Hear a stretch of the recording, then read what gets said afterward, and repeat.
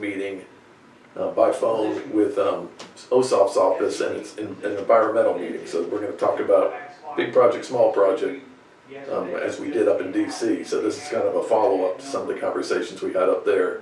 Um, I'm gonna have the big ask, John, ready for him, and you and I can meet prior to that meeting.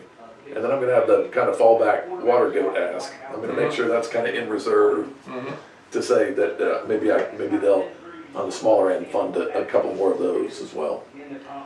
Right, or the city could just buy them at less than four thousand a piece, it's pocket change.